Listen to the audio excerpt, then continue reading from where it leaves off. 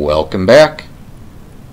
Today we're going to look at a recent over-the-board game I played against uh, Fred Alsbrook. A strong 2100 rated uh, USCF member. So, uh, was playing just in a local uh, team versus team match. My team had invited me uh, to play this time on the B team, and uh, I took up that invitation because it sounded like a fun thing to do, despite the match being like middle of the week, pretty late at night. Time control being 45 and 90, plus sudden death 60 with a 5 second delay.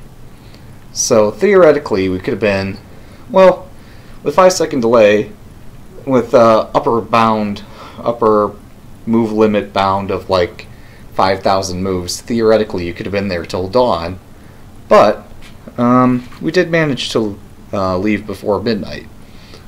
So, without further ado, let's take a look at the game. Um, my opponent opens knight f3. This is already not something I've very thoroughly prepared for because it's not something I face very often. Um, so I've considered two main replies here. Um, d5, which I've played before, and knight f6, which I've not played before. Um, ultimately decided to go with the opening I have played. So, and then my open opponent continues the Réti system here. And by this point, um, well, I guess this is a Nimzowitsch Larsen. This is recognized as the Larsen attack. Um, I'm not thoroughly familiar with all the nuances of the Réti, the Larsen, and so forth. Um, I was surprised to see this. Um, and so I tried to think, well, how can I get a position that resembles anything that I recognize? Because I've not studied this aspect of chess very thoroughly. These are some openings I really need to take a closer look at. It's true that in recent weeks I have been looking more at uh, the Queen's Indian defense, trying to get a better appreciation of what's going on there. But um, here we are with like, well, this is a Larsen. If white plays e3, then you get a very similar pawn structure as the Queen's Indian defense. Again, I'm I just resolved that I'm going to play sensible development moves, activate my pieces. I didn't exactly obey the knights before bishop's rule, but I wasn't sure whether I wanted my knight to go to c6 or d7, or just bring out my other knight first or if I was going to put my pawn on c6 or on c5 or I figure I'm probably putting my pawn on e6 maybe playing h6 at some point. So that was my game plan. Uh, I really need to study more expert and master games and better to appreciate what's going on in this opening system but um, I'll try not to belabor the opening too much because most of it consists of me just not fully understanding what's going on here um, by this point, I wanted to commit to playing e6. I didn't know, again, what the opening consisted of here. Um, but I noticed that if I play e6, uh, I'm kind of walling my bishop in front of my pawn, so I want to leave open the possibility of playing bishop d7. But also I recognize that at some point I'm probably going to play bishop h7. So I did play h6 here after much contemplation. Just I'm not sure what I'm doing. Um, I'm sure basically everybody viewing this probably knows the system better than I do. Probably can tell me, oh, look, you made all these terrible mistakes in the opening. What are you doing playing chess? Sort of thing. I don't know. So again, I'm not going to try to belabor what happened in this opening phase. I just tried to play reasonable moves. I managed to um, convince my opponent to play h3 here. I figured, if nothing else, this is something he doesn't play every day.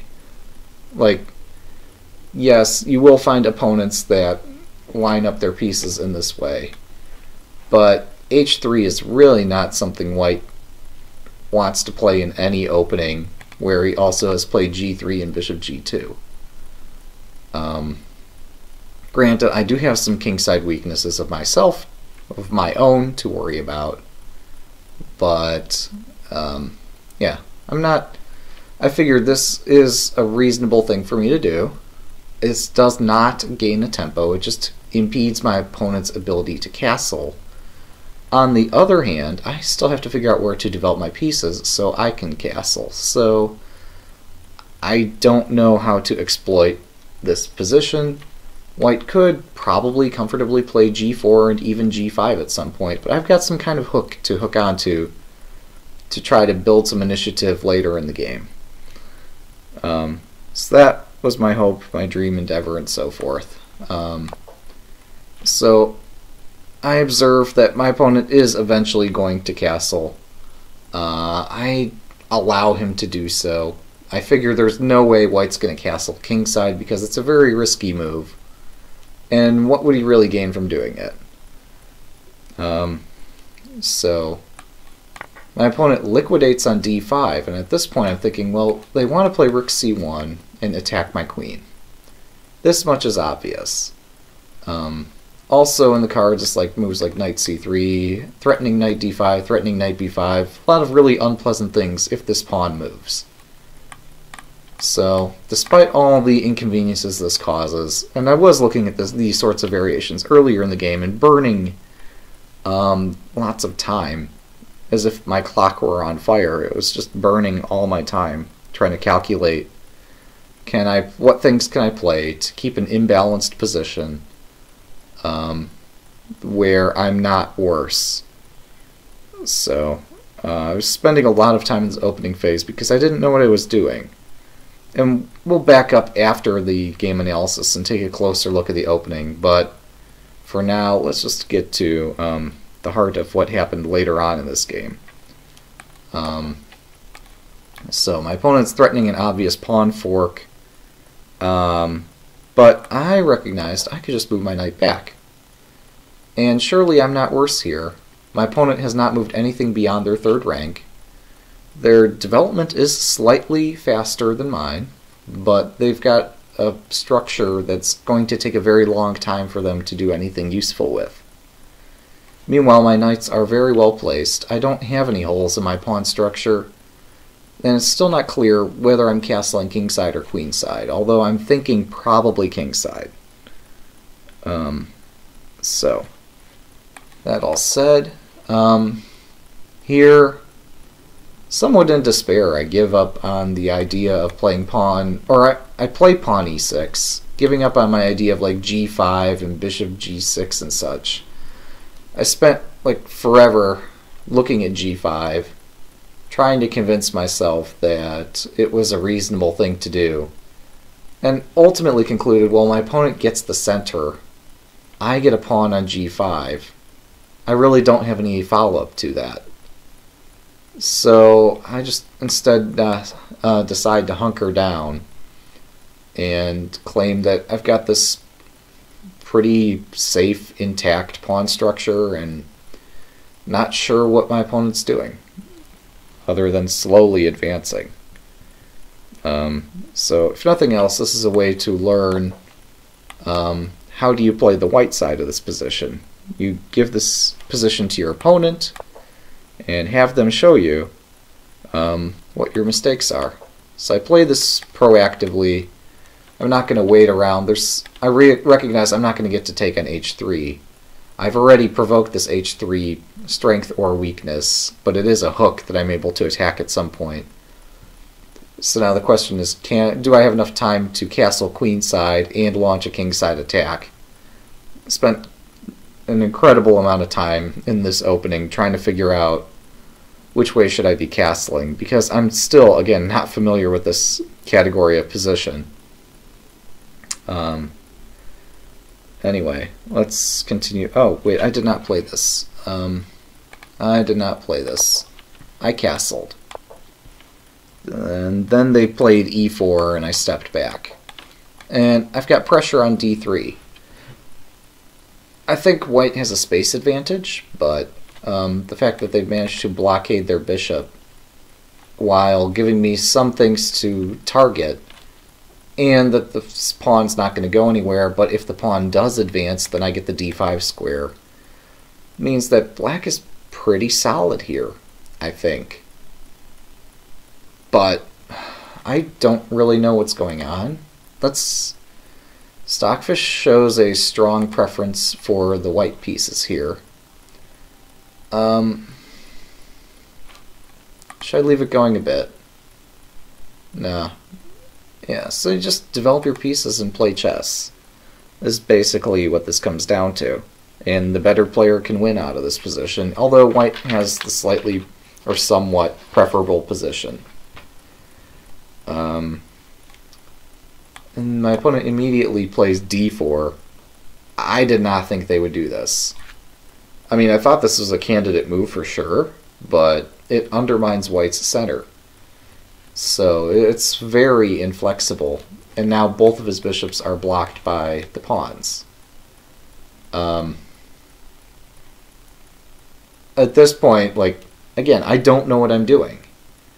Having a plan would be tremendously useful here. I was looking at things like a5, trying to threaten a4, but if I play a5, they just play B a4. Uh, if I don't play a5, or if I play like b5, then they'll play rook c1 and b4, and I'll have this terrible... Well, they might have to play a3 at some point too, but I'll have this terrible hole on c5 they'll never be able to patch. There really isn't a way for black to proceed without creating some kind of weakness here. So black's plan apparently is to bunker down and just not do anything. Um, Stockfish likes queen b8 here. And then a5, a4, rook d8, bishop f1, c5. Hmm. Alright, so I guess the thing to play for here is c5 still. Thematically, black does want to try to play for c5 or e5, but having the queen on the c file gets in the way of that. So Stockfish suggests I play things like queen b8, a5, um, rook d8, and then throw c5 in here. That way I'm not subject to this pin, that way I've tried to provoke some weakness on the queen side, that way I have plenty of places to move all my pieces, and then I can play c5 while I have d5 under control. That's a reasonable plan. Um, I settled on rook d8, which I didn't know what else was going to go in combination with it, but I knew that this rook on a8, well, I'm sorry, the rook on f8 would only support an f5 advance, and I'm not going to push f5. Also, I'm not going to play at the rook. I mean, I could have played the rook to e8, but I felt that this other rook on a8 had a future somewhere on the a, b, or c file. Um, I didn't really know, though. chess is hard. If nobody's told you that, um, public service announcement. Chess is a difficult game. Rook c1's pretty obvious. Yeah, and here, this is the moment where I should have figured out what was going on. Queen b8, as Stockfish suggests, makes a ton of sense, trying to prepare a c5 advance. I didn't think c5 was viable, but um, our silicon friend says so, so I guess it must be viable throughout most of this game, I kept miscounting how many pieces were controlling various squares. It's not a skill I've had to exercise very often because that's part of a strategic chess game. And most of my games these days are blitz, and strategy does not play a large part in those games.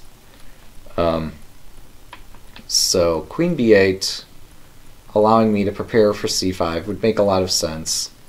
Possibly even queen to b8, a5, queen a7, and rook c8. Um, that is, bring the queen over and up here, this pawn up, and this rook over to protect this square. I know all this is blend, all the markers are blending in with the board. Um, sorry about that. Um, if I could do better, um, well, I don't know. I could.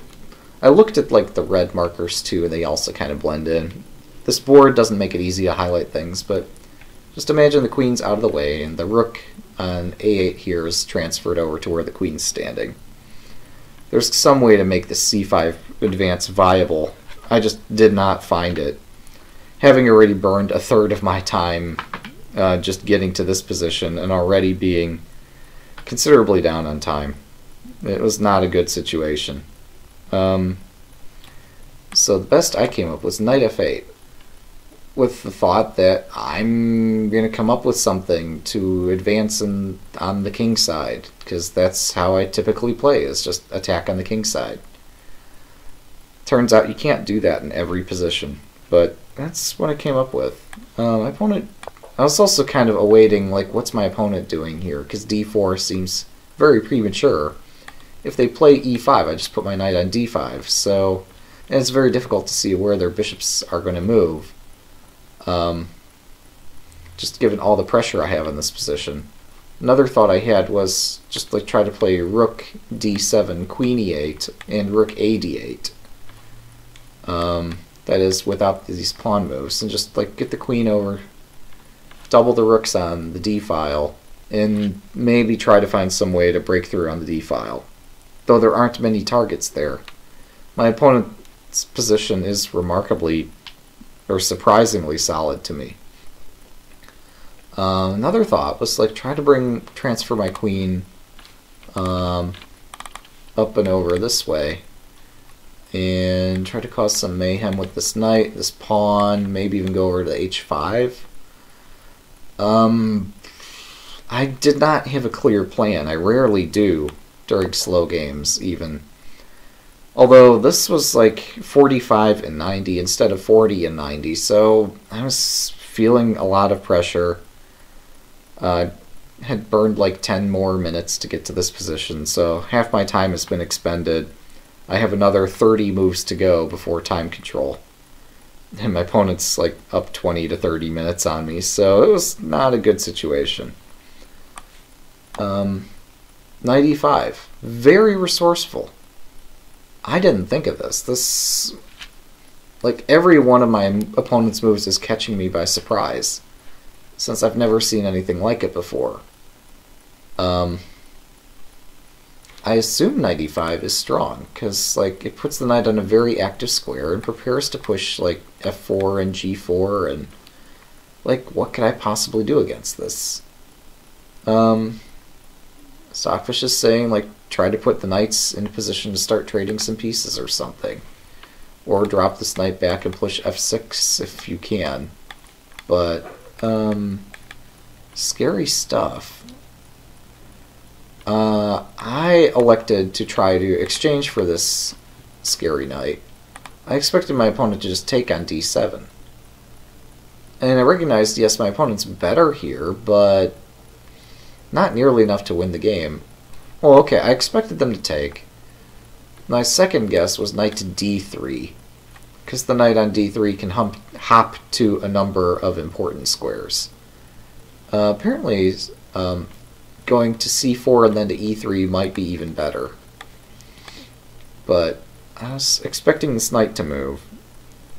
Uh, and it did, actually. Um, although I was really hoping for a knight exchange. That didn't happen. Um, so I brought my queen out for lack of a better plan. I could have gone knight back to f6. I was just afraid of these pawn advances. Um, hmm. This is a position worth studying. I mean, yes, I could ask our silicon friend what's going on, but only because, like, I just kept burning more and more and more time during the game going about 10 minutes a move, um, with about 30 moves to go till time control. This would be a good thing for me to try to figure out here as an interesting thought exercise. Um, so the first part of any position is like try to identify the imbalances in the position, the strengths, weaknesses, targets, etc. Just general concepts in the position. And then after having done that, go identify some candidate moves. At least in theory, that's how you're supposed to do it. The larger the knowledge of game positions you have, the better you'll do with um, recalling ideas that other strong players have played, and it'll be a lot easier for you to find the key ideas in your own games. My problem here is I've got tons of candidate moves a6, b6, f6, g6, king h8, knight f6, bishop f6, bishop d6, knight b6, knight b8, like all these things make some degree of sense. And then there's the queen advances, like queen d6, queen b6, queen a5. And there's some more aggressive pawn moves too. So you need some kind of knowledge to be able to narrow down what in the world is going on here. I was just very much deer in the headlights in this kind of position. I'm like, uh, I'm sure there's an idea. I did look at forcing lines with like queen a5 and ultimately realized that queen a5 has a very good chance of getting my queen trapped if I go pawn hunting on the queen side and does not really contribute in a positive way on the king side on a5 any more than it does on c7. Um, I looked at b6 and I'm like, yeah, the c5's never happening though, and b6 weakens me on the longest diagonal. Um, on the long, on the light squared long diagonal, where my opponent's bishop is facing my rook. Um, I looked at a6 and a5 and realized, yeah, but those give me weaknesses, and there's no clear. Without me being able to play c5, it's not clear what a6 or a5 achieves especially if my opponent can just block my pawn advance or sidestep it if I play a4. They could play b4, or they themselves could play a4 before I get a chance to. So I'm struggling on the queen side. I considered bishop f6, but realized, um, I mean, yeah, you have to play something here. You're absolutely right. I looked at bishop f6 and realized, well, my opponent still controls the center. This doesn't actually help me push e5. Um, and in some tactical lines, my opponent might be able to push e5 in, in order to open the light squared long diagonal. Um, so, plus bishop f6 makes me prone to a f4, g4, g5 advance which might require my opponent to play either knight c4 or knight f3 at some point, but the bishop on f6 really doesn't do anything that it's not already doing on e7, and it welcomes bishop a3 if I play bishop f6, so that's kind of out. Um, king h8 seemed like a useful waiting move, except it puts my king on the wrong square because it's lined up immediately with my opponent's bishop this is a recurring theme that I would like to play king h8 and try to get my rook over to g8 and just shove everything on the king side, but yeah. yeah. There's a lot going on in this really rich position. So, okay, I'm these were some of my thoughts during the game because I couldn't identify I struggled with identifying imbalances here. White has a space advantage Black's bishop on h7 is looking stupid, but in order to improve the position of that bishop, Black's got to like hack down White's center. And there's all kinds of repercussions to trying to do so. Um, but any pawn advance Black makes also ruins Black's position. So um, I'm still thinking maybe I should have gone with what I was thinking during the game, which was queen a5. Actually, that's what I played during the game. So maybe I'm okay with that, but I thought my idea of queen a5 followed by queen a6 was pretty clever here. Trying to apply some pressure on my opponent's queen side, maybe get a queen trade in, and maybe that would help me apply more pressure on d2, uh, d4 and adding more pressure on d4 might give me the leverage I need to make a pawn lever like c5 or e5 successful. It's a lot of speculation. Um, another thing that would be sensible here would be just rook a to c8. Um, recognizing that like I am going to do a pawn lever c5 at some point. It's inevitable, and I should just build for it and make it happen. But the disadvantage of doing that is that it makes a5 more difficult to push. Um, so actually, they my opponent's kind of threatening to play b4 here if I shift my rook away. Um, yeah, I'm just kind of at a loss here. So you're suggesting b6 because I have to play something. But I'm like convinced that b6 horribly weakens my queen side and limits the mobility of my queen. Um, like I'm really very concerned about my opponent pushing e5. Um, concerned about this pawn e5 and then knight c4 to d6. That's my largest concern in this position. Um, not saying they're immediately going to drop the knight in there, because in many cases that just loses material, but it's very difficult for me to do anything about that plan. Meanwhile, I don't have a plan. Um, so I need to be very resourceful with my next few moves, or I just get squished. Uh, knight takes d5 looks odd. Okay. Your main problem is your opponent has two central pawns to your one. Yes, this is true. Absolutely. This. Um, so we're suggesting take a closer look at some of this. Oh, knight a6? Okay.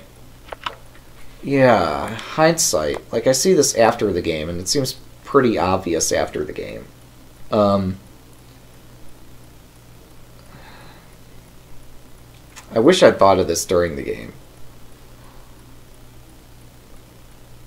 Somehow I had, I thought I was playing a Caro-Kann sort of structure, and I just thought my knight was well placed on d7 because it has the ability to jump to either c5 or e5, and if the other knight moves, then lots of things can happen. But I don't have anywhere to move this knight, so just let's see. Okay, if I'm going through the trouble to keep line up this battery, I should keep it here. So, what I was calculating during the game, um, let's say we do knight a6. Because it seems like a good pragmatic try here. Uh, obviously, there's not going to be any refutation of knight a6. Black is not in any major trouble at this point. Knight a6 makes a lot of sense. At least, um, you know, might as well keep the battery going. I thought the knight wasn't going to spend very long on that square, and I was very mistaken about that. Um, so, of all these candidate moves of my opponent, which ones was... I mean, I wasn't even like looking at candidate moves for my opponent. There's so many things white can do here. Um, and I'm very unfamiliar with this kind of pawn structure. Um, but yeah, as a practical matter, just keep the battery there. My go-to in chess just uh, tends to be trying to calculate variations because I just don't have nearly enough knowledge to uh, conduct plans in other ways. But, um, okay, yeah, no, that's a fair point. I'm sorry, that was another concern I had. Like, this is a Caro-Kann sort of concept. Um, I actually have two possible captures here. Right, now this is definitely a Caro-Kann thing. You see this, like, all the time there. Um, now, of course, I would look at the specifics of this position and evaluate the two options, but um, I was very optimistic that one of these two options is good. Uh, and honestly, I was thinking G takes, but I wasn't going to calculate everything out. Oh. Oh. Yeah, this... Okay. London's a thing I don't know much about. But no, you're right. This does very strongly resemble a London.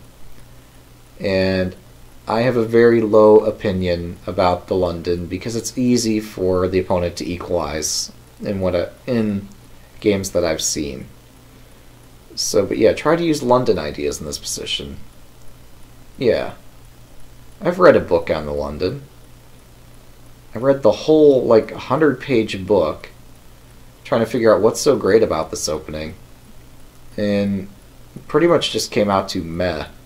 It's an opening, you can play it. Um, uh, like, it really wasn't the most inspiring book, I guess. Hey, welcome. Uh, so, yeah, I think you're right. I should have played this more like a London here. Yeah, right. So I was not terribly concerned about this because I thought G-Tix was probably good, and even if G-Tix was ended up being a bad thing, I had this backup idea of E-Tix, which might work. Um, yeah, no, I think No Joke's probably right. The London, you can easily equalize against it if you study it. Um, there's several well-known. I've heard from other chess experts. There are several simple lines you can learn to equalize without much difficulty, and it's not very scary. Uh, the Torre is a lot more interesting, in my opinion. Well, that and in the database statistics and in uh, game analyses that I've seen published by masters. So, um, let's see. Just because the C file generally opens and my queen feels very strange on C8. Yeah, right. Right, now queen C8 is very strange. I agree. But yeah, I should apply just like normal London ideas. Or just don't play the London. But, um, no, you're right, this is a London. This exactly follows things that I've read. Uh, I think it was in Soltis' book, but he was showing it all with the white pieces. And yeah, just do the things that he mentioned and it'd be okay. There's plenty of ways you can structure your piece. It's a very flexible opening. It's just not particularly inspiring. Right. Uh, triangles. Okay, yeah, that's what I was thinking. Like, oops, yeah, c6, e6. Um, you just overprotect the all the light squares, and wait for your opponent to checkmate you. Um, no, not really, but you just um, try to do constructive things, but it's not so easy to do so.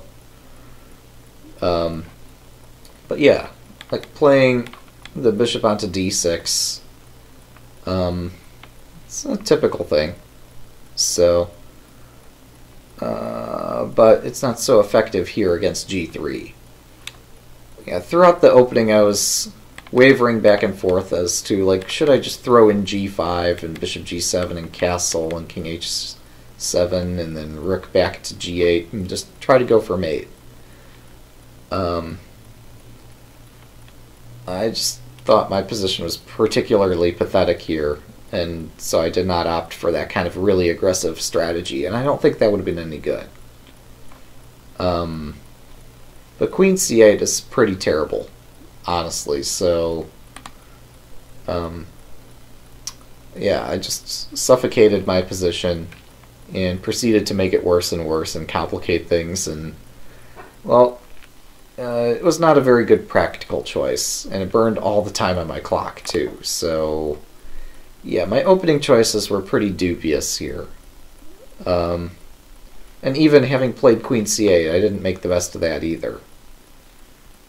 Yes. No, absolutely. Um, I still need to figure out, though, like, okay, suppose I do do this. Either do, after this I could do London Ideas, or Oops, it's black to move. Um,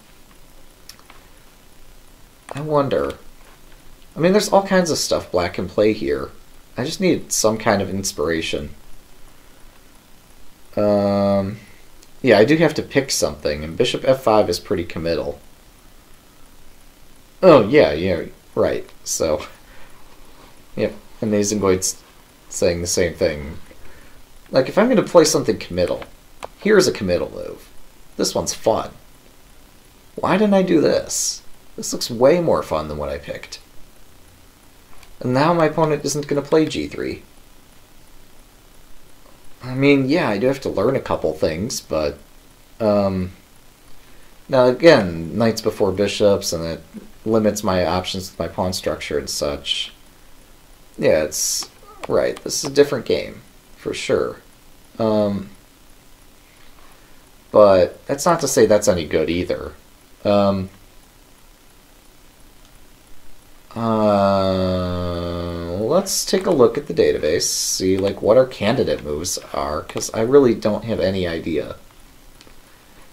I mean, I considered like g6 and knight f6 and stuff, but I'm like, I don't know any of this. And so yeah, I tried to reinvent the wheel. And I should have just tried to do something, except that I'm getting a worse position, and um, not try to do like ridiculously combative things like I'm known to do.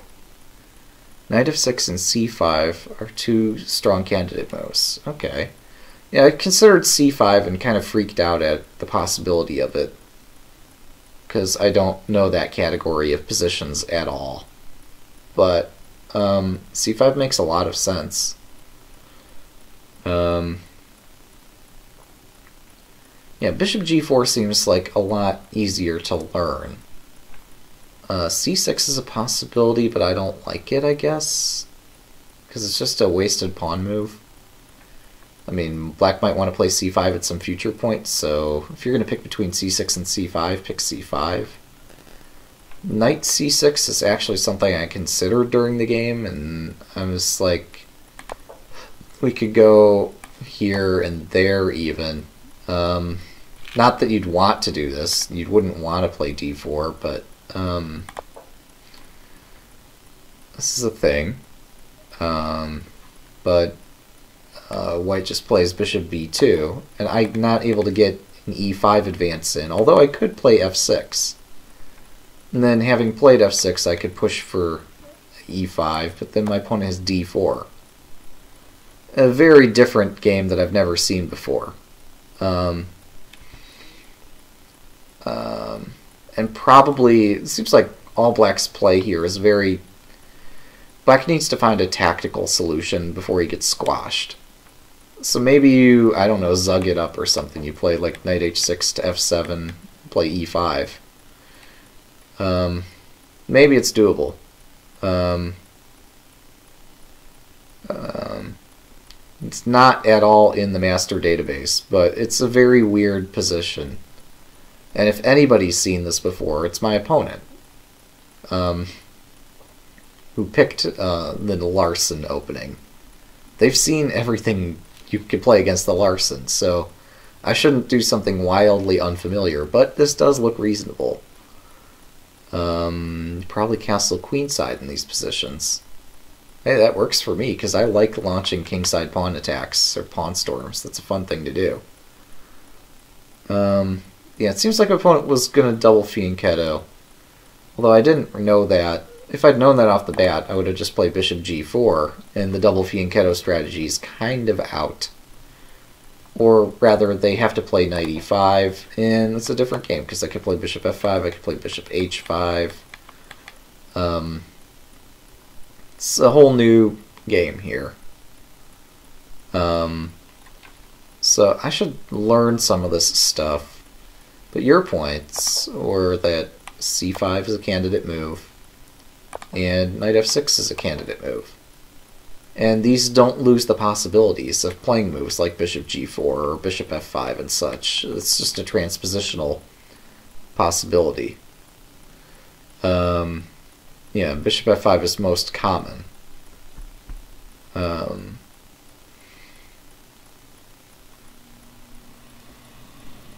so let's assume that this is perhaps the simplest one to learn, because the London's not that hard to learn, to, at least to play.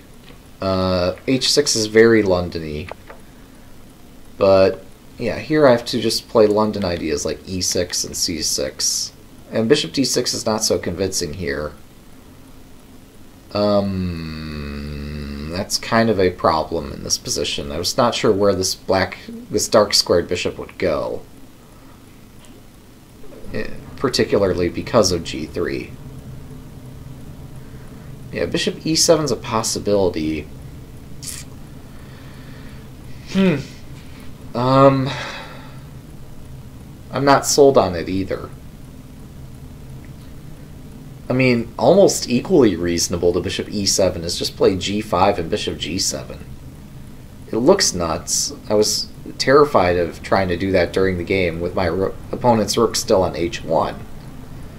But, um, yeah, it's not clear what black's plan is either. so, like, yeah.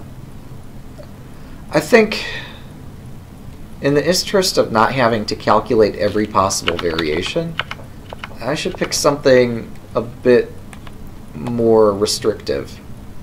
I think bishop g4, despite the fact that least like Trompowsky-like positions, I don't yet know them. I think I could get the I could learn the Trompowsky faster than I could learn how to solve all the problems with the London, because I really don't believe in the London. Um, it just happens to be like I don't know queen pawn openings very well either.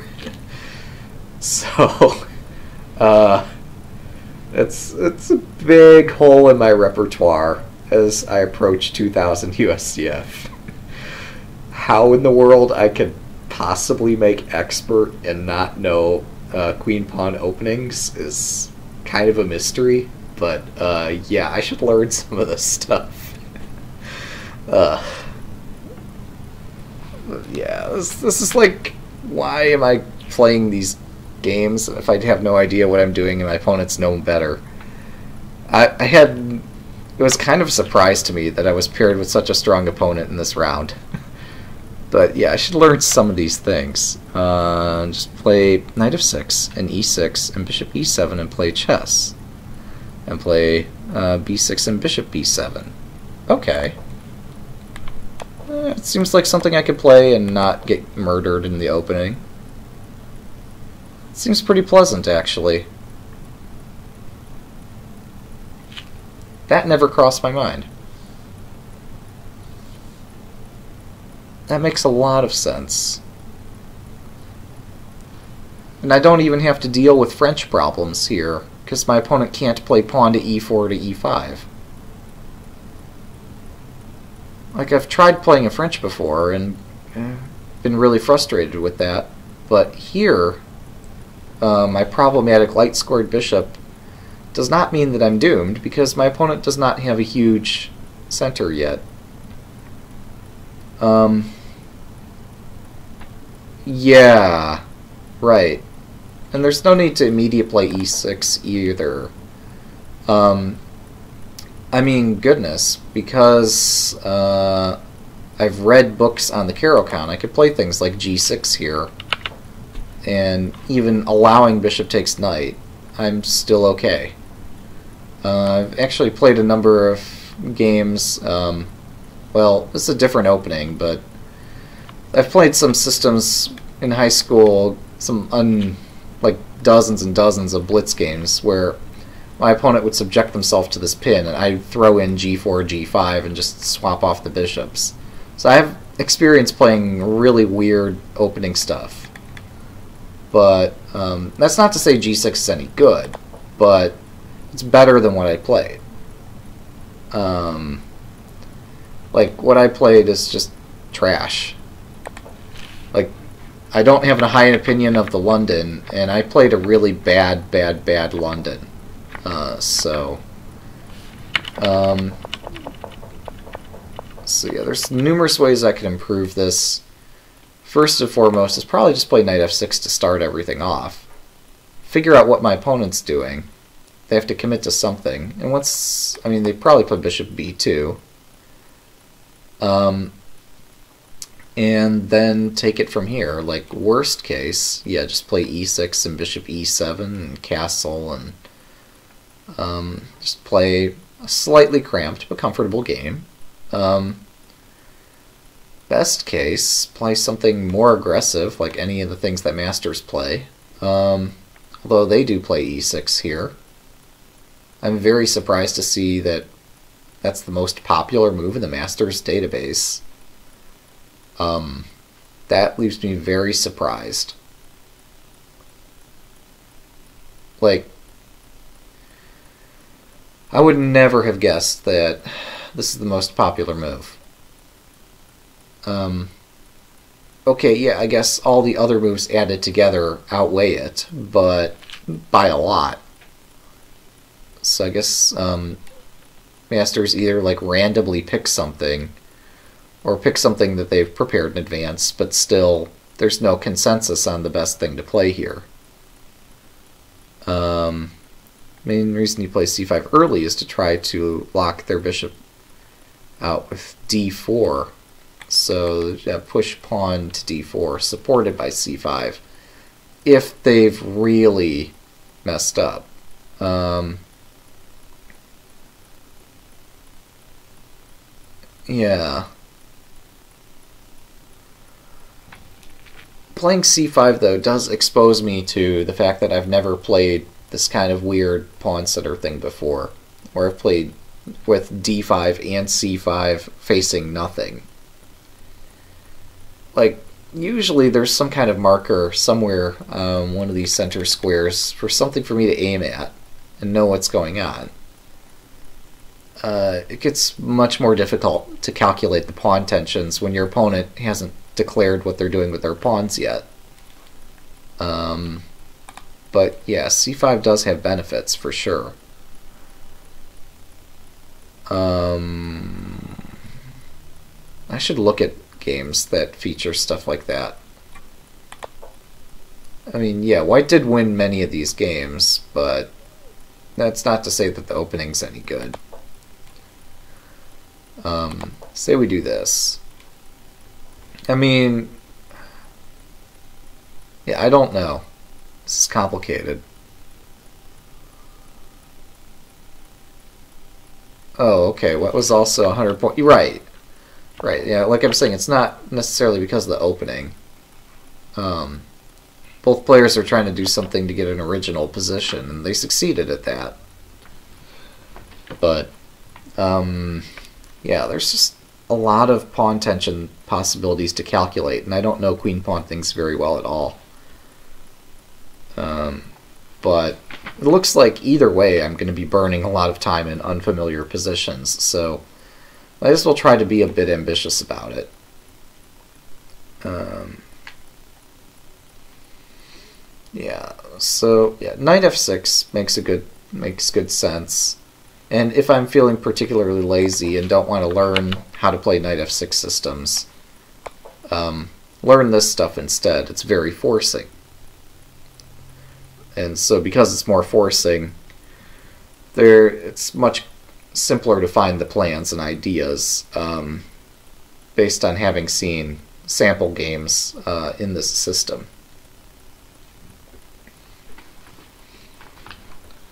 Um, interestingly enough, knight e5 not in the list of moves. That wait, there's knight. What is this knight? Oh, that is an e. It looked. I'm not sure what I thought I saw here, but that is knight e5. Okay. I thought I saw something else, but yeah, knight f5, knight e5, bishop f5, d4 and just learn like a few, see some sample games, look at what black does in general here. Here white's already committed to d4, which they don't want to do. Um, this might not be a, from a serious game, I'm not sure. Um, here, let's, can we promote this variation up one? Let's say bishop h5 just isn't that, it's not that interesting. It has been played some, uh, I don't like it. Um, or rather, I like bishop f5 better. Um, so as long as you learn, like, I mean, okay, this actually does not force white to play d4 immediately. Um, does f6 actually make sense here? I like knight f6, because knight f6 you could just play knight d7 and then push for c5 very quickly. That Although, again, we're not playing a Caro, we're playing a London. You would never do these things in a London. Um, it's funny, this position's been reached 12 times. Right? 10 and 1 and 1. Am I reading that right? 10 and 3 and 1? Something like that. These little numbers are so tiny here, but out of all these games, I don't think I like any of the top moves. I just play e6. I like e6 here. It makes a great deal of sense, and then you can push your f6 if you want to. Um, there's a whole lot of possibilities. Um, like here you get all this London play, but their knight's overexposed on e5.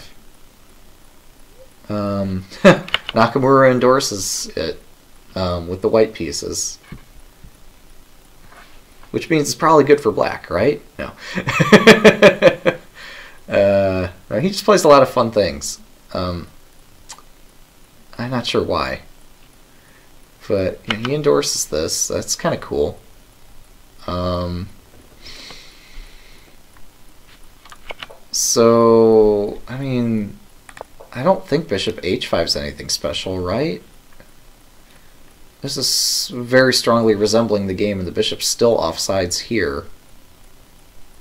It's never getting back into play on h5. On f5, it actually does something. Uh, so yeah, we don't need that move in our tree. Um, but yeah, like, and I'm amazed.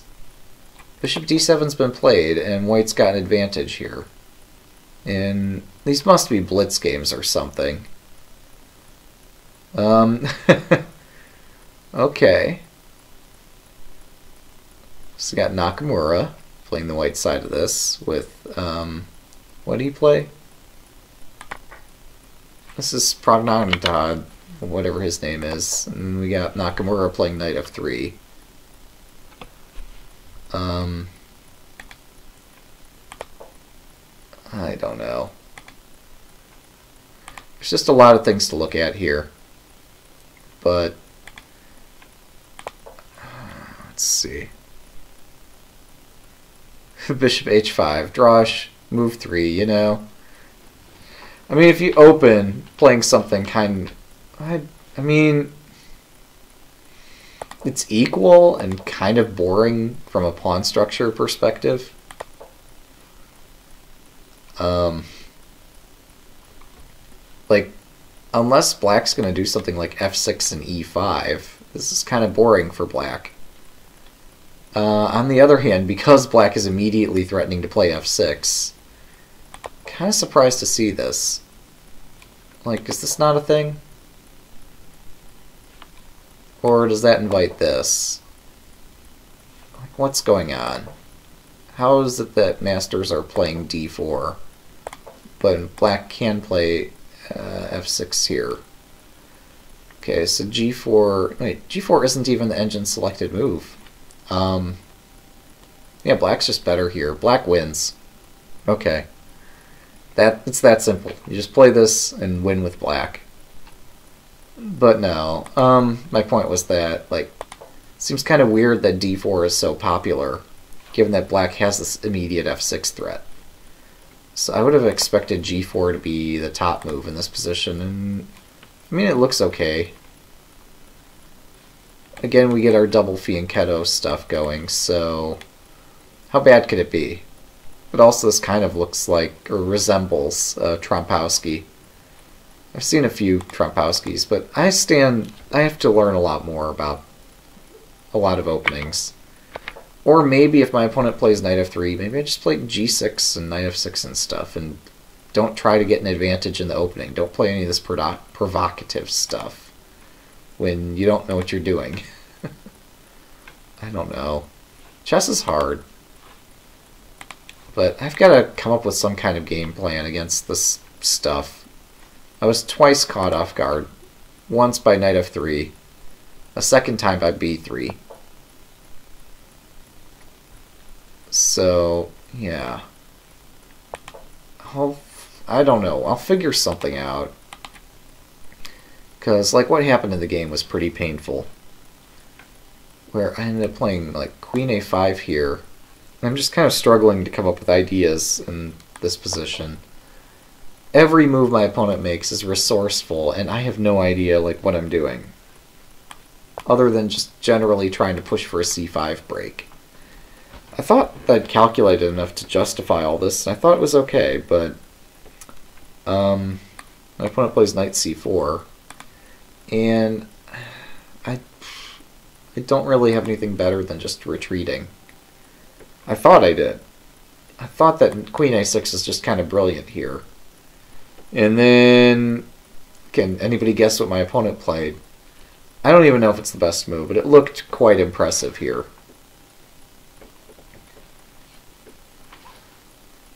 It was after my next, my opponent's next move that I realized that I'd made some pretty radically bad errors in judgment. Uh, although my position's not that great here anyway, but um, yeah, my opponent's next move was really interesting, at least in my opinion. Knight c5. We got one vote for knight c5.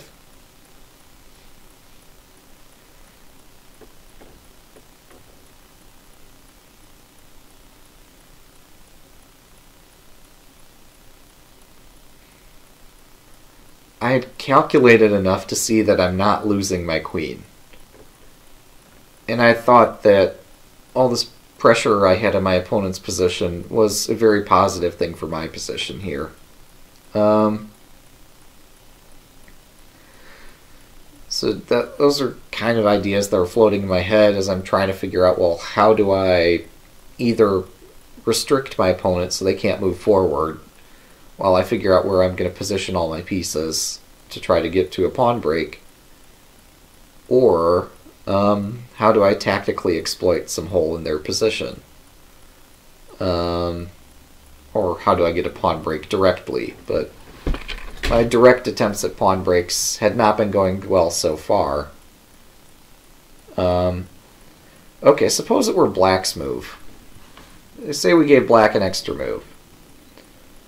Um, so it was his, his turn here again. Um, what's some ideas that Black's thinking of playing here?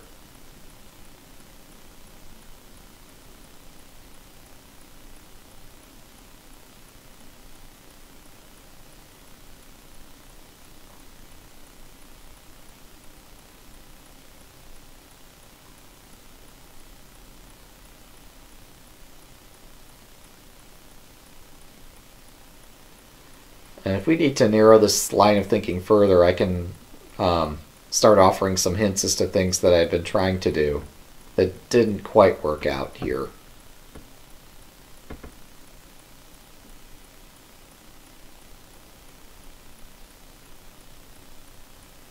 Or maybe this position's a bit too difficult.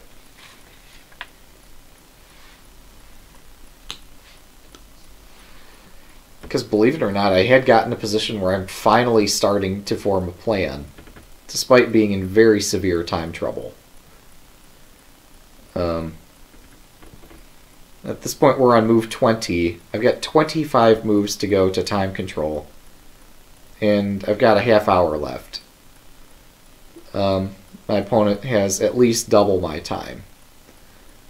So, playing that kind of. I mean, I have had worse, but you really, against a strong player, you don't want to be in that kind of time trouble situation, which I got into because I just didn't know what I was doing. Um, well, I guess I'm not hearing any guesses. Um, so I'll just offer my thoughts as to, like, as black, what I'm trying to do here. For the longest time, um, uh, D5 is an interesting thought. Um, he didn't actually do that. Although,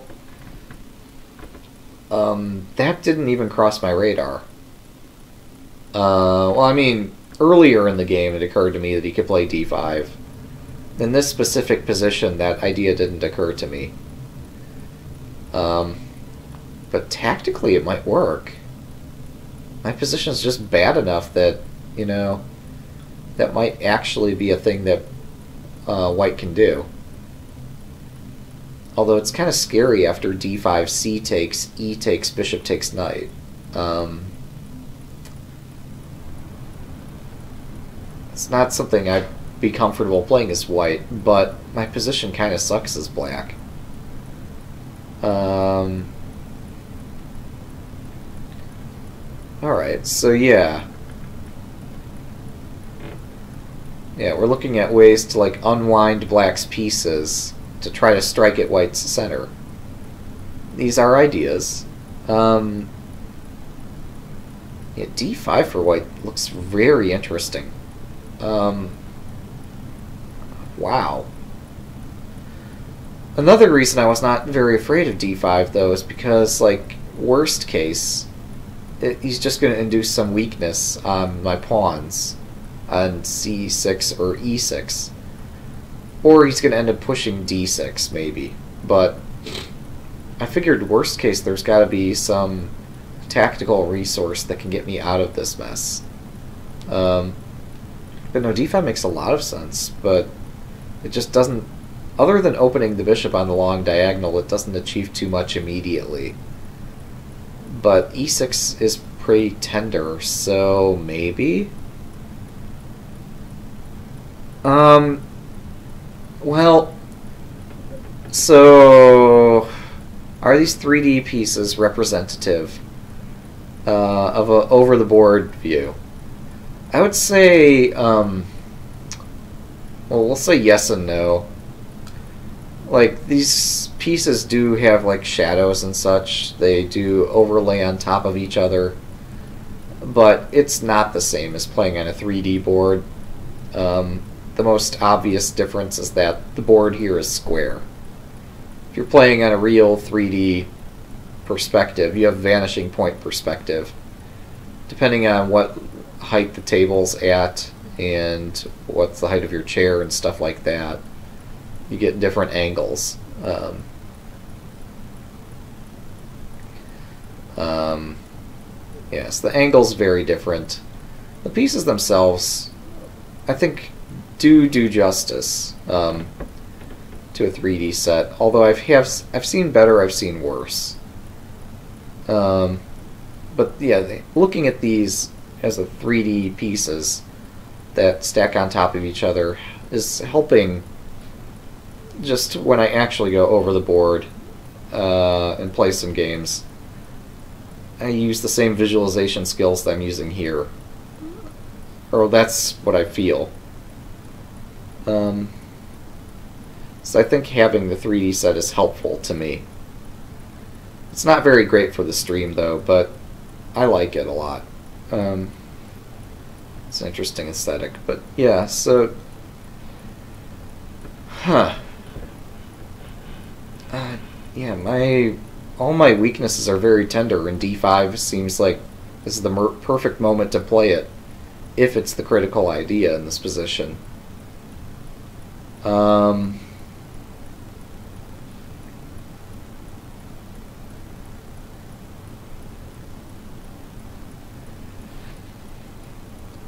yeah, I'm not sure that D5 is actually what he's aiming for, because I could start playing things like, I don't know, um, like Knight C5, I guess. Um,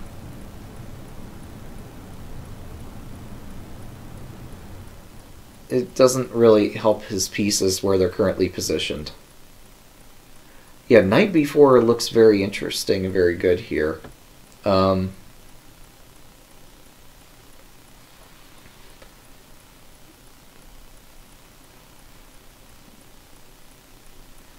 yeah, he uh, he played here.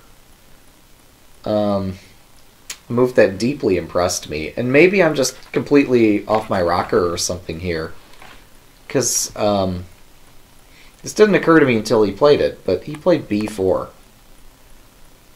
And it just sunk into me, like, just how desperate my position is getting. Um, like, now I can't even get my c5 advance in ever. My opponent's got control of a5. I don't want to push b4 myself. And it becomes more difficult for me to try to advance my c pawn later um, thanks to this pawn, which is now cutting off all my pieces. Um, furthermore, any future tactical nonsense I might have had on the queen side here with the bishop taking on a3 just isn't going to happen anymore. Knight b6 here. Uh, let's see, is that what I did? Let's see. I didn't do knight b6. Um, so I played b6, but let's take a look at knight b6. Um,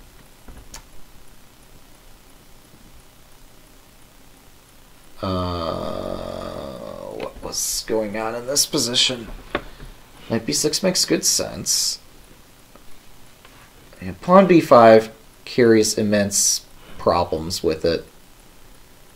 Um, if I were to play b5. It just creates long-term weaknesses and doesn't really open any files for my pieces or any diagonals or anything. It does give me the c4 square, but uh, knight b6 also gives me the c4 square. Or, uh, or so I thought. During the game, I was thinking if I play knight b6, my opponent retreats their knight to either d2 or to e3. Um, and then if I play knight a4, they do uh, bishop a1. That's as far as I'd taken it during the game. Um, but maybe there's more truth to this position because on b6 I can actually start to threaten knight d5 if they push e5. This really does open up possibilities for black. Um, oh, oh, I remember what spooked me out of this. Um, I was considering what about knight c5? Um, so forced is bishop takes, pawn takes. And I I didn't like this at all. Um, yes, I guess I do get rid of all my opponent's knights. So that much I guess I appreciate. But this looks pretty not like a position I want to play. Um, don't forget, on knight e3 you could play knight d5 anyway. Take c4, Oh, push e5. Pushing e5 did not occur to me. Um, that's a really interesting thought. So having been fully denied the possibility of playing c5, the perfect perfect moment arises to push e5 myself. I actually like that. Even if he pushes past, I still like it. Um, yeah. Right. Right. So this is forced. I still like this though. Kind of. I mean, so my opponent has a very strong center. Compared to other stuff that could happen, this is okay, but um, so I've got this to worry about. I've got this. I've got this. Um, He's not going to take on c6. But he does have a strong pawn center. And he's got this rook b1 idea. Um, but e5 does seem liberating. Um, right. Might be too early to do e5, but if I don't play it, my opponent might at some point have the chance to play f4, further complicating an e5 push, or they themselves might just push e5 directly. Although that'd be a really weird decision to make in a position with the bishop pair. Um, but it could be done. But I don't like it. Um, uh, also possible is this.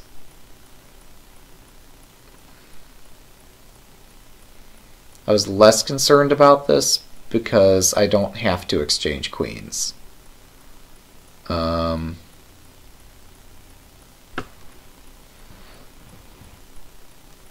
but um, it's not so clear what I'm doing.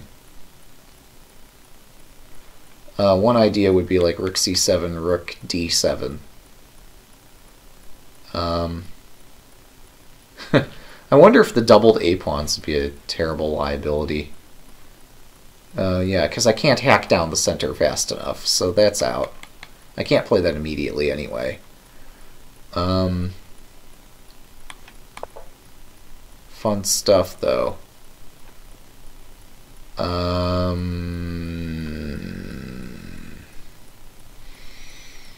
hmm. I did not look at this. But again, I didn't think queen c4 was the critical line anyway. Um,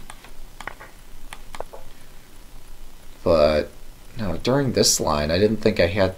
I thought I did not have anything here. Um, White's play is just very fast. But I could fix my pawn defi uh, structure defect. Like this. Um, I still think my play is far too slow and I'm far too cramped for me to be opening the queen side like that. So I can't play b5 right away, and if I can't, then I have these long-term weaknesses to worry about. Yeah. Well, my knight got to f8 because, like you said, I misplayed my knights this game. But knight b6 is a really interesting move because it does give me some freedom. Some very much needed freedom, but um, yeah. Knight b6 makes some a good deal of sense, but it's not enough here. Um, White's plays White's just got a very large space advantage, so Black needs to maneuver behind his pawns until a useful pawn lever occurs. And that's not going to happen as long as I keep blundering. But yeah, in the game I played b6, figuring, well, now I really need to go for broke. I need to make a pawn lever happen, even if it means I've got some weaknesses that might end up losing me material. That's a chance I have to take at this point, because like my pieces are so stuck. Um, I need to get active before it's too late. So Knight b6 makes sense, but it just saddles me with too many weaknesses. So I try to like force a c5 advance um, and hope for complications. Uh, not saying that's necessarily a good idea, but hopefully it's a practical one. So my opponent steps out of this um, pin thing I had going. Um, and so I continue, or I also put more pressure on the c5 square, as do I. Um, so I'm trying to force the c5 to happen. Um, and to my very great shock and surprise, they play knight c to e5 here. I couldn't believe it. Like, yes, of course I'll trade pieces with you. I need to trade pieces. Um, like, what is this even about? Why would you do that? Um, uh, Stockfish, what would it do? Bishop f1 was a thing I was very concerned about. I wasn't sure if I was going to ultimately push c5 after all because of bishop f1 and just this nightmare of tactics that could all arise on this diagonal here. Um, I was very concerned about that. Even though it does temporary, temporarily loosen the pressure on the c6 square, on f1. This is just a monster. Um, yeah, let's just put it there. We can look in that and the PGN afterward, but yeah, this I like my opponent played so well leading up to this point, and then they played knight e5, and I'm like, what is this? did I like blunder material or something? Um, maybe they calculated they could win my c pawn or something. I don't know.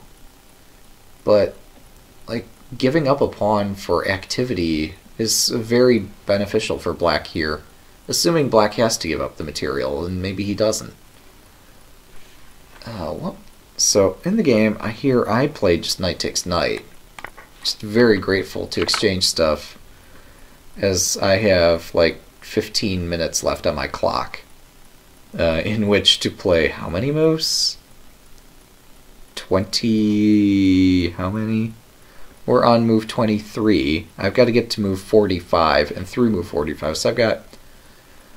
Um, gonna make another 22 moves in 15 minutes. Not a good situation. But uh, what's the best thing here? c5 after all. Yikes. Wow. c5, d5. Uh, okay. Interesting. Now, why is d5 best, though? Is there some tactic saying that white should not take either of the two ways that white could take on c5? Um, that is, with either pawn? Is there some tactic reason why white doesn't want to play bishop f1 anyway? This gets really complicated, but d5 does open up the black's pawn structure and makes the c pawn as useless as possible. Uh, we liquidate, and black just needs to go for activity one way or another here. Uh, but yeah, white has a clear space advantage, and there are many holes in black's position, despite there not being any pawn structure defects other than the h6. Um, so that's how that could have proceeded. Um, no, in the actual game, I just trade on e5. White takes on e5. And I offer another trade. I'm like, this is great. Yeah, let's just keep liquidating. Um, that's a bit optimistic but actually my opponent uh, obliged, and suddenly I'm looking at a position that's not completely terrible. It's just bad, but not. It's a lesser degree of bad than it used to be. Um, because I'm not nearly as cramped, and it's very difficult for my opponent's pawn levers to do anything now. And I can apply all kinds of pressure on their center suddenly, because my pieces aren't tripping over each other the whole time. Um, it's true I can't play knight d5 anymore, but yeah, it's simpler for both players, I think. I just could not believe that this happened. Um, but it did, so I shouldn't belabor the point anymore. Um, my opponent... Uh, how quickly do they play this? Do I have any note about that? No, they they spent some time. They came up with D5 here. And yeah, stuff's happening. Um, this exploits the fact that my C pawn is pinned. This is an exciting position, isn't it? my goodness, what does one do in this position? Um, and so I spent uh, about five minutes of my remaining Actually, it's 16. Um, I came up with a move here. uh, I'm not sure if I should be proud of it or not. Yeah, this is a really wild game. Um, that's what, I was really not impressed with my opening, but this got interesting. So, candidate moves. Rook c7, rook c7, rook d8, rook d8, bishop f6, queen a4, a5, c5, um, e takes d5, bishop f8. Uh, any other candidate moves here? Well, bishop g5 was temporarily a candidate move. It's pretty easily answered. Um, I think that's our list of candidate moves in this position. A lot of moves are candidate moves here. Common theme is that very many of these candidate moves get smashed um, by White's pawn taking one of our pawns. And the position just gets very unfortunate there. Um, yeah, Black was almost in position to line up the rooks and stop this d5 advance from happening. But Black was just a touch too slow. Got caught up in some tactics. But White didn't. Um, this is not nearly the clear, cleanest way that White could have converted this position. Okay, well, um, After five minutes thought, I came up with c5. I don't know if that's good. Let's see, what does the engine suggest? Queen a4 is a candidate. White is considerably better even after queen a4. Huh. I thought that... Hmm. This wasn't necessarily that great for white. It's very difficult for white, unless white can win a pawn somehow. If white can win a pawn, then then I think that white can clearly be see, said to be better. But I think this is falling under the realm of unclear, despite a plus 2 engine evaluation. So after my move, c5, okay, white's like plus 3 here. Bishop f1? Really? What is this madness? How is that the move? Okay, so I played c5. My opponent did play bishop f1. I still don't appreciate this, because I played queen a4. Um,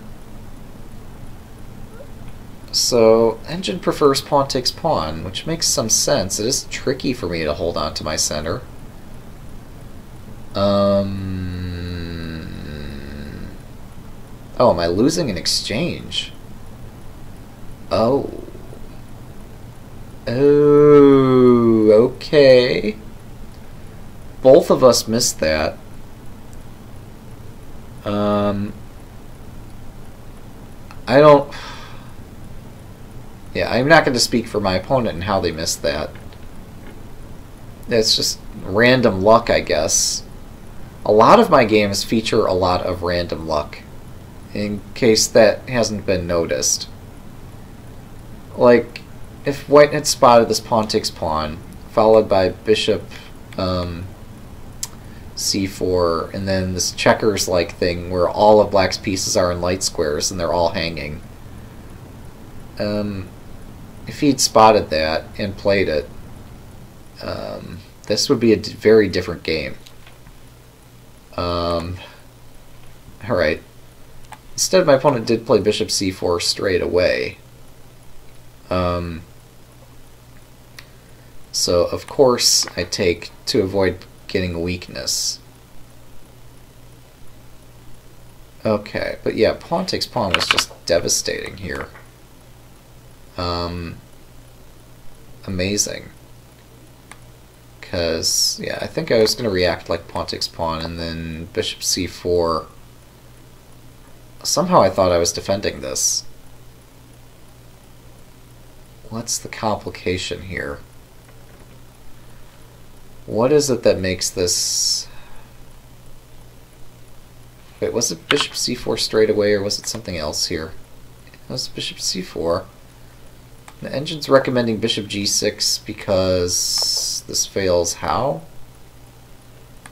b5, queen d6, queen b3. Oh.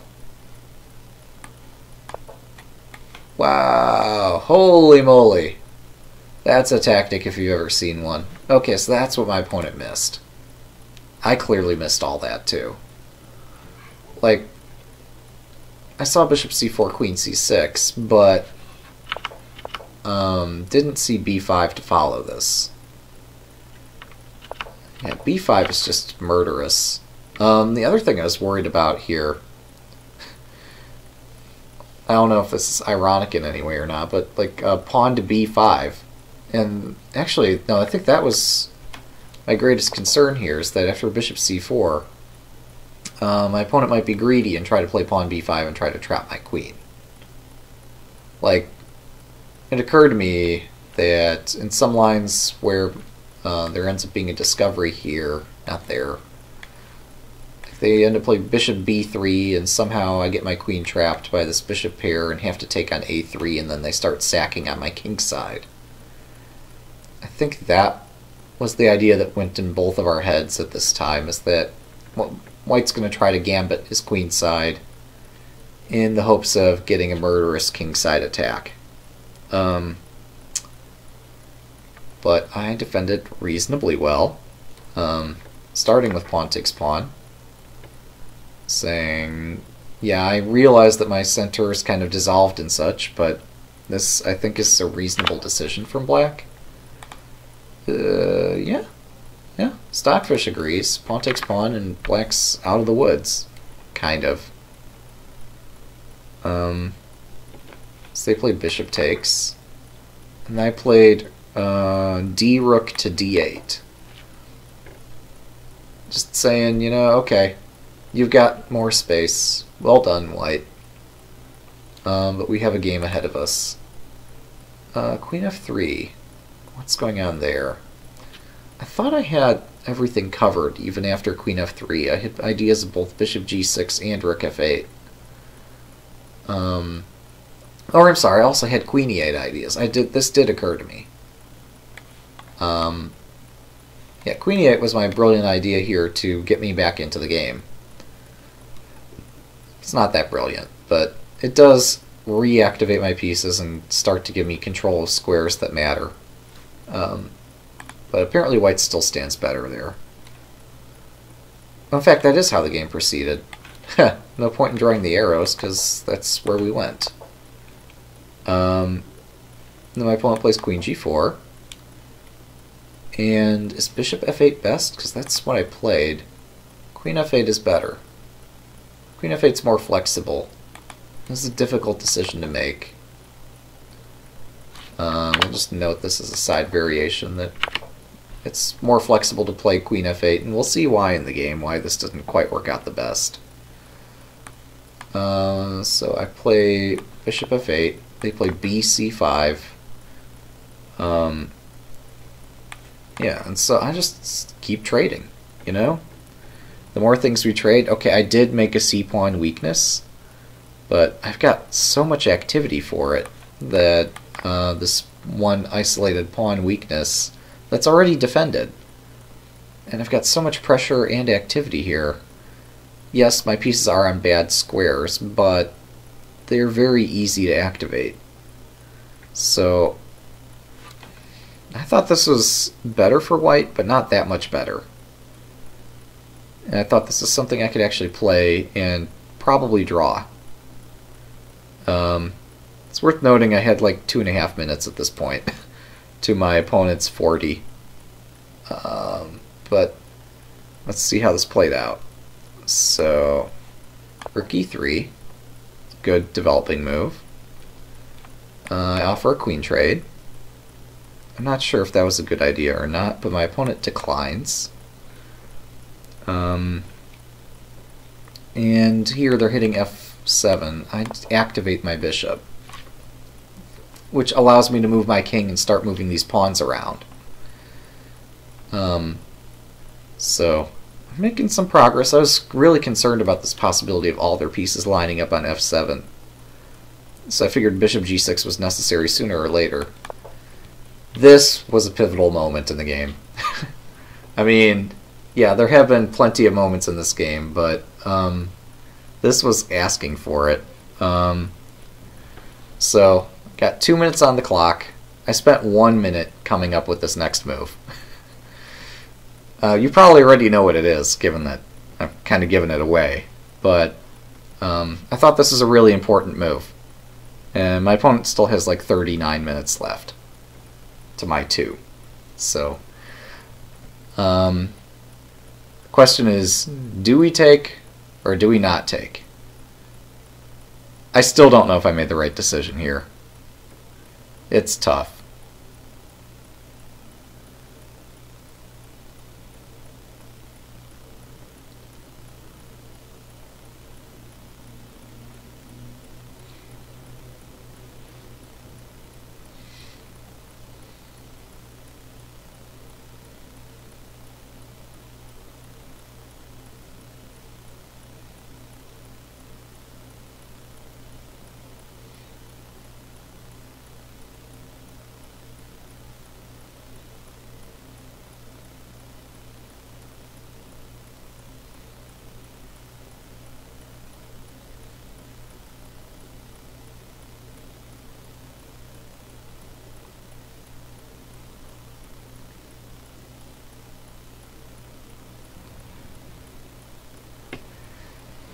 So candidate moves here.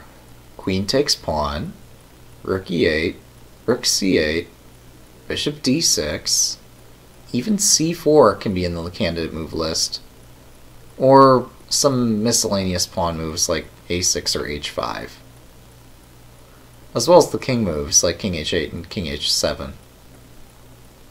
There's a lot of candidate moves here.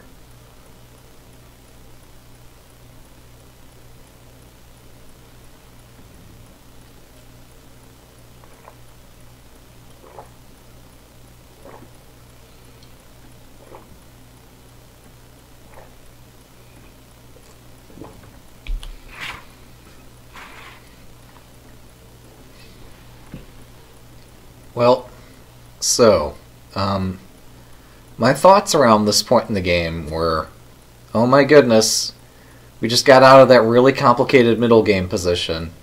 We're getting closer and closer to an end game. I happen to know a lot of end games. Right, so that was the big decision here. Is like, do I play like Rook C8 and try to push my pawn? Um, do I stand pat? Do I try to activate that bishop on f8? Do I start like moving my king in some desperate sort of defensive maneuver? Um, even rook e8 comes to mind here. Um, or do you just take on h3? Um, and about 40 to 50 seconds into this thought interval, it, this thought had been occurring to me throughout that whole minute um, was that, well, supposing that we can take on h3, if it works out, um, all the rest of this is going to be really easy to calculate in the next um, 10 moves to time control, even though we have one minute left. Um, whereas if I don't take on h3, um, then I'm going to have to calculate really complicated things every move until the time control happens. Um, so because I'd mismanaged my time, I had to decide like is taking on h3 suicide or is it playable? Um, and about a minute into the thought process, it, I just could not find any way for white to get a decisive advantage. Um, so I did this move that surprised my opponent. At least I think it did. Um, Stockfish kind of likes it. Kind of likes bishop d6. It's an idea. Um, I kind of like rook e8. Unless there's something terribly wrong with it. Um, I guess that encourages king h2. Okay, so that's not so great. But bishop d6 is probably the best move here then. Bishop d6 did also occur to me, but oh my goodness. Um, yeah, had I had more time, I probably would have played this. Because now we get to exchange on my terms. Um, and I don't have to give up my f-pawn. Um, Yeah, so this would have been the best way to go. Um, but I played this. I thought I saw tactics that actually gave black an advantage here. Um, turns out I was mistaken, but um, so we go down the rabbit hole. Uh, king h8. Uh, rook d3 was it? Oh, two, two, two. Yeah, rook d3. This surprised me. Um, I thought my position was amazing, and then I saw this, and I'm like, uh-oh, this is not so good. Um, so, um, yeah, so there's a dual threat here. One, obviously, if I take the rook, uh, I get mated by queen takes bishop, queen takes pawn mate. Two, if I just like completely blow this off, um, let's see. I mean, is that what I did during the game? Because then, um, well, no, where am I? Yeah. Okay.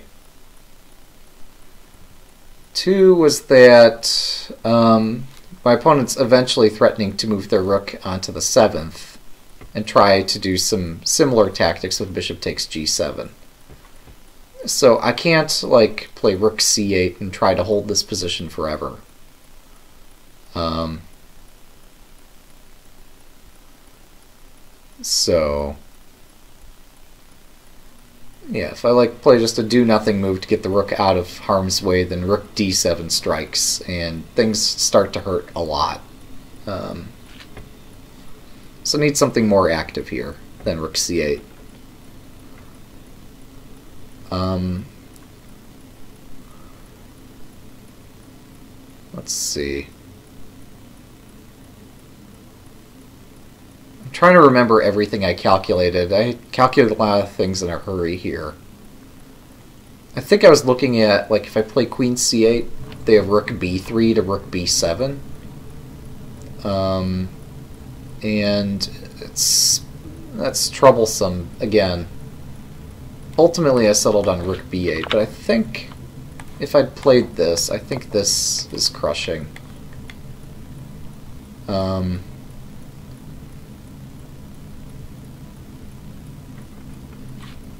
So let's take a look. Rook takes rook, king g2. What about this? Queen to g4. Now why g4? Is there some perpetual idea? Oh, g4 defends the... Okay. g4 defends the g pawn, so that's my third defender. Like I said, I was miscounting a lot during this game. Somehow I thought that would only defend the square twice. I didn't count the fact that the king actually defends the square too. Um, so it would have been okay to just play queen c8. Um, but here I play rook b8. Um, they played rook d2. I didn't expect this. Um, I really thought they were going to do rook d7.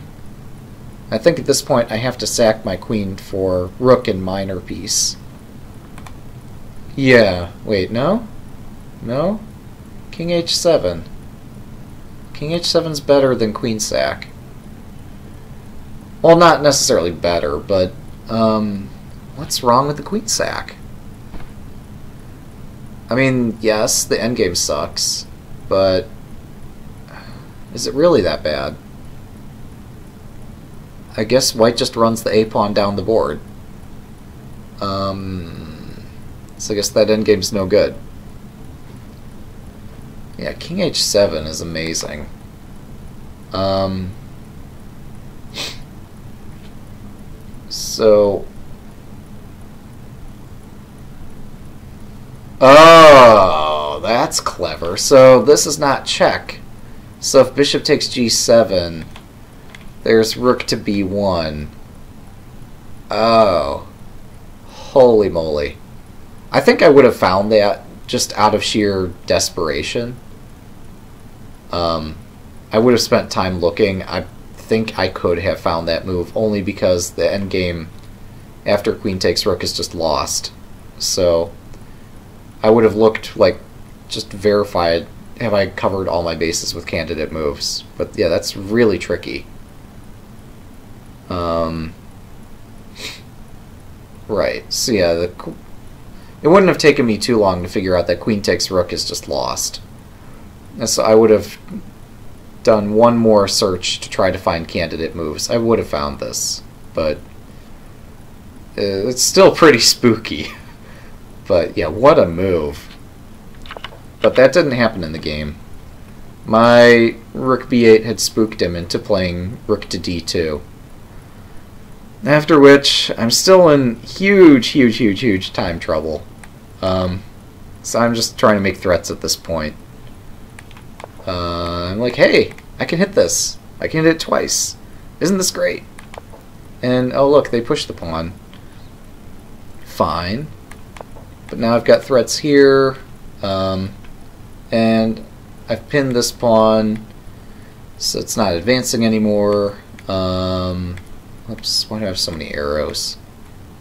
I can't see where all my arrows begin and end. There it is. Um, so I've got this pin. I've got potential ideas of queen f3 if my opponent moves their queen. Um, I might even be able to push h5, h4 and lift my rook over. Like, this is amazing. This is spectacular compared to what we had a while ago. Oh. You don't get why we have to play king h7 in that line. Really? Uh, the point is, um, I guess suppose we do something else like c4, right? What else were you considering? You're considering like queen g4? Um, hmm. Like if queen g4, we just take this pawn. Um, but yeah, the point here is that this is not check because we're in check. Um,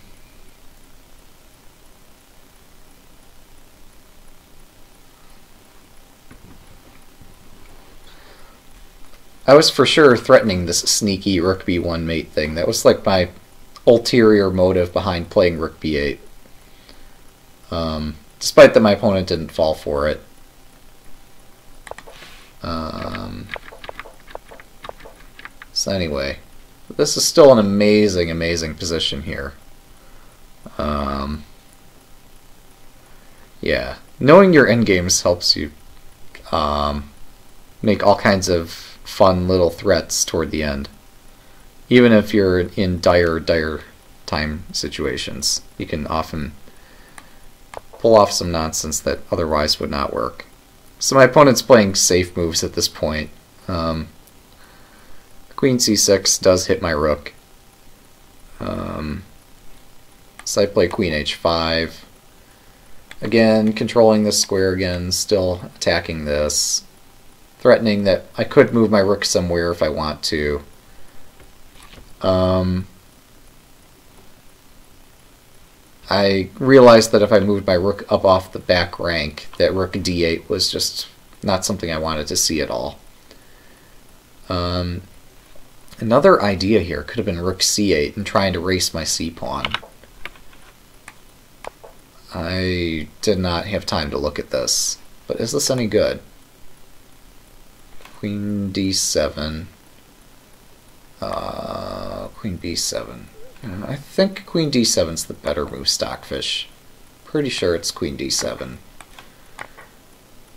Um, right, and so e5 does not hang, and this position's not that pleasant. Because, well, I was going to say because they could play a4 and bishop c3, but they don't have time for it. Um, why the king move here? What's so great about this king move? Oh, we need to stop the e-pawn. Right. Hello. Um...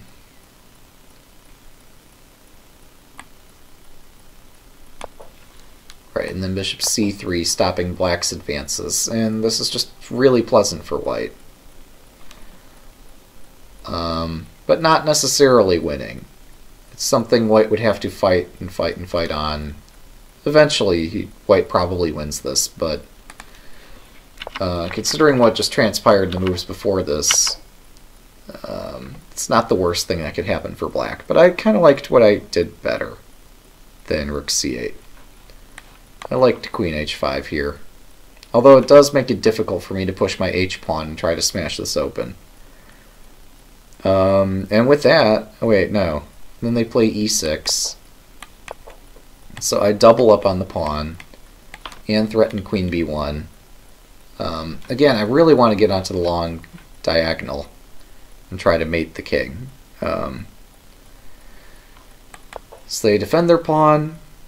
Um, and I go back, and we've made time control.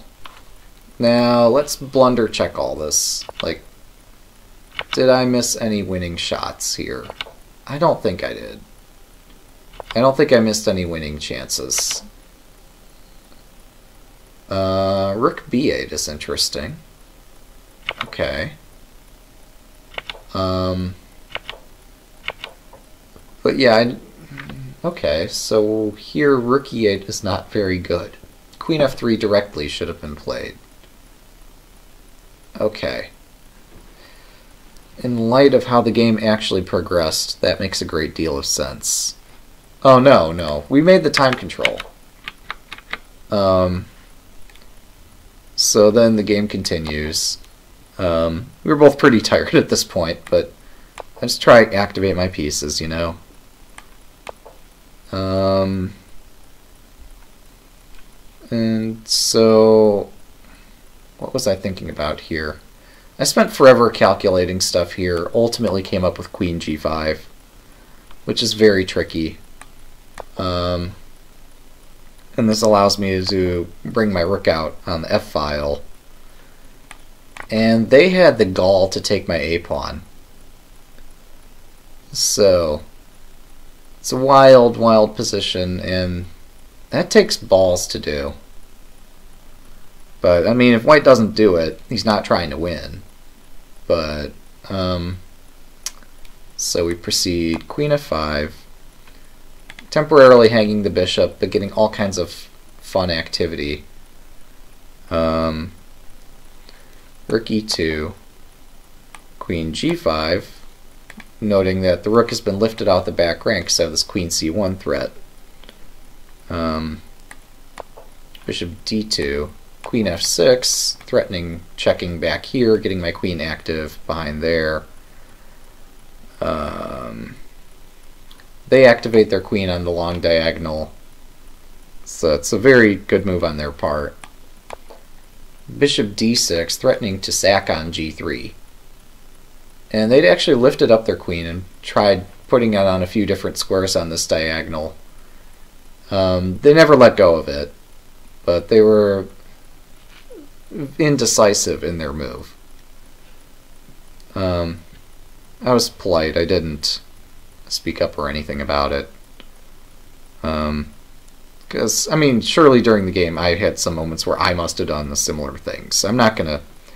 I mean, this is a pretty friendly league that we're playing in, despite how competitive some of the people get about it. Um, so, anyway, um, they settled on queen e4, which is a good move. Um, I activate my rook, king g2, king g8, trying to get in the way of this pawn, a4, um, king f8, again trying to get in the way of the pawn, uh, a5, and now I need to get behind that pawn before it runs any further. So rook to b3 and white plays rook e3 and after some consideration I concede here. Uh, white wins. Black has no threats, white has multiple threats, black's position is completely collapsing.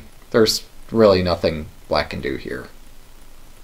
Plus, it's like almost midnight we needed to pack up and go home. Everybody else had left, um, like forever ago.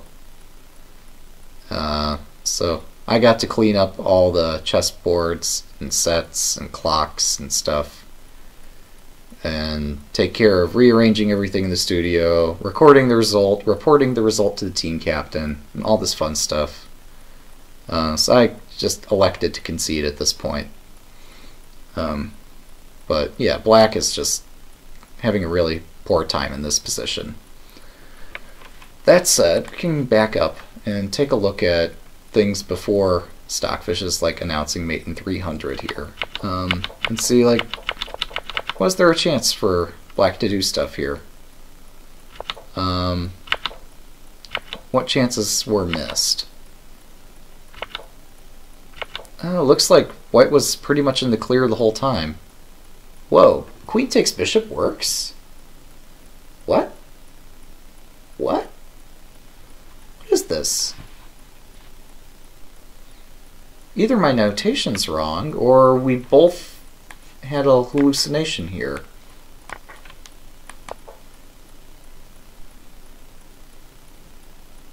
Oh. G7 is loose. G7 is very loose. Oh. Um, but still. Okay. So I can't sack that bishop. So that's why I got so much activity there, is because I made a terrible move and my opponent didn't exploit it. Okay. Um... Yeah, before the time control, my shuffling back and forth didn't help me any. My queen g5 that I was so proud of really wasn't that great. Um, if black's going to try to do something complicated, queen g5 is the complicated move. If black is going to silently whimper until he loses, uh, a6 is the way to do that. But yeah, Stockfish points out a6 is best, in some sense of the word best, but no. No, it really isn't. Um, but, okay. Yeah, queen h5 was not good here. Like, throughout the game, I've had problems with activating my pieces, and this is no exception.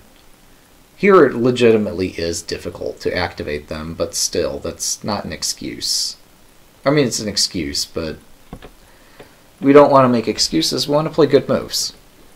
Um, so king h7 seems reasonable as anything, but I guess my chances were before that pawn got to e6.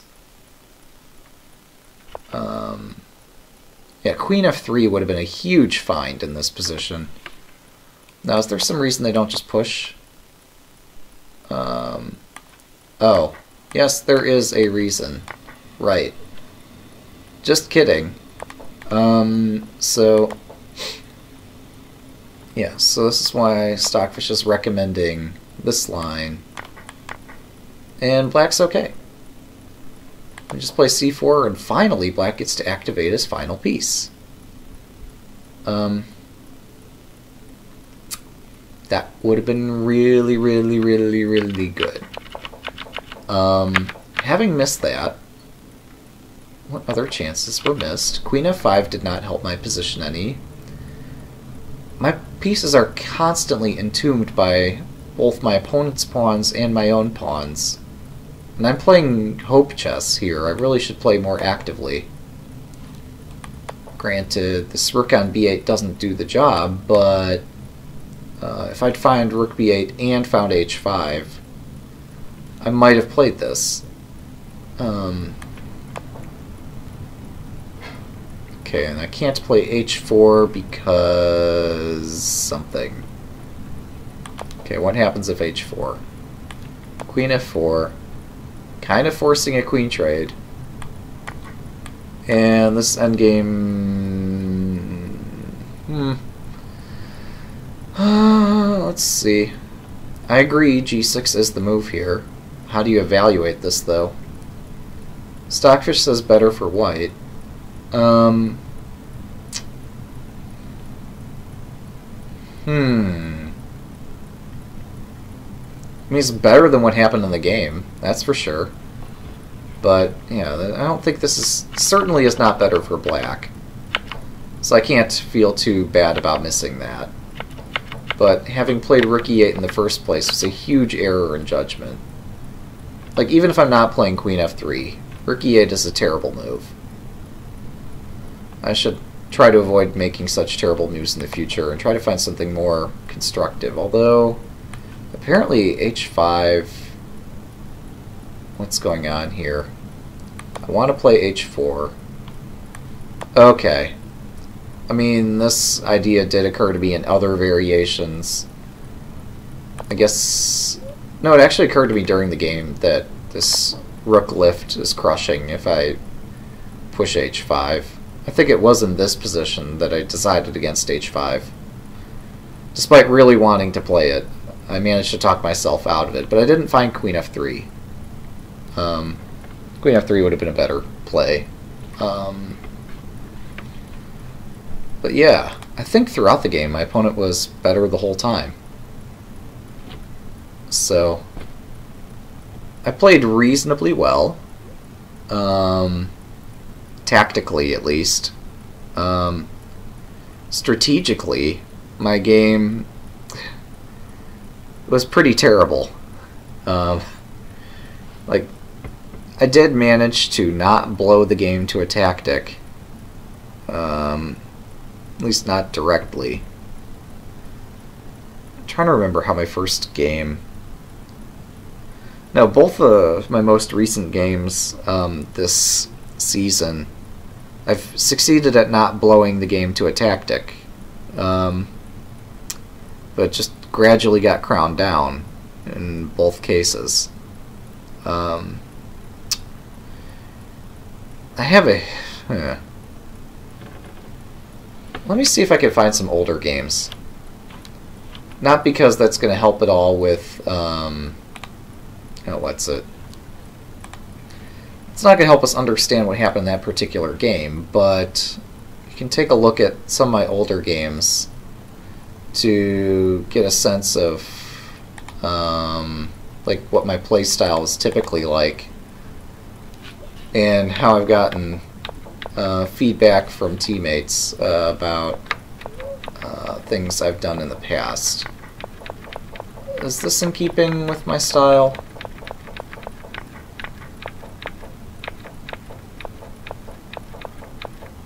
Well, no, actually, hmm this last year, um, I've actually done really well on the tactical side of things.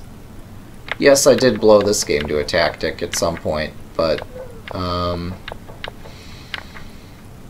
okay. Fair enough, but this is like strategically lost the whole time too. So that's not an example. Um, let's see. You have any older games? If not, that I guess that's okay. Yeah, I guess... I suppose we don't have any examples of my games from like more than a year ago on Lichess. Um, or rather studies of my OTB games from over a year ago.